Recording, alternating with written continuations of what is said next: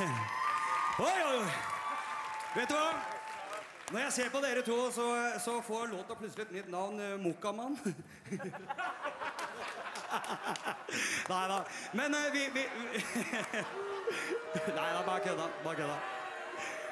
Når vi Når vi Når vi eh, Vi, eh, vi eh, er ikke så gode på taler, men vi har lagd en vals. Vi er jævlig gode på vals. Så vi har eh, skrevet litt her nå. Og vi må selvfølgelig ha litt klapping i salen her.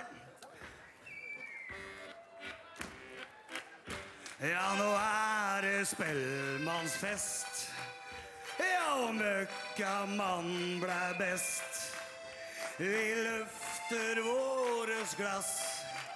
Og vi vil gjerne få takke på rams. Og det blir Henning på Piraya. Og det er Rune Hilde på Killing Promotion. Og Torgeir og Jonny Musikk. Ja, og Atle på bare bra musikk. Og Frode og Robert på Procon. Og Christian, sjølveste møkkamann, som sitter der oppe og tar seg en dram til forrettende. Men mest av alt vil vi takke fansen, som stiller opp på hver en fest. Vi kan ikke få takke dere nok.